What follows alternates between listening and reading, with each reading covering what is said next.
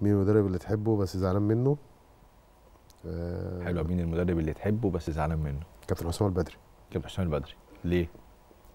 آه، عشان أنا مشيت في وقت آه، كنت أحسن واحد في الفرقة. الحمد لله يعني كنت بجدد وكان آه، كنت جايب جون سموحة كنا واخدين الدوري بيه وكان كل الأرقام بتاعتي مستر مانويل كان معاه محلل أداء.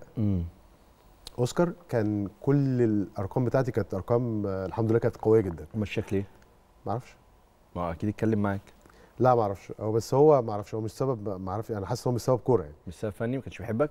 ممكن اصل هو في مدرب على فكرة ممكن ما يكونش مقتنع بشخصية لعيب أو مقتنع ب style لعيب ده. آه يعني أنا كنت عند مستر مانويل هو شايف إن أنا آه، مدافع قوي جدا وبنفذ اللي هو عايزه. وكان. يقول لي على طول الكلمة دي ويقولها للمدافعين أحمد لو في منافسات بينه وبين المهاجم 10 كور يقطع تسعة. وده رقم مهول.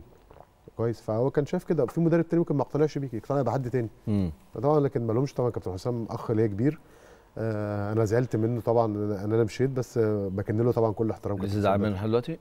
لا طبعا اتقابلنا. إحنا أنا عارف. رحت وديت لعيبة وأنا شغال في وكاله لعيبة وديت لعيبه الكابتن حسام آه، آه، محمد شريف وأيمن أشرف.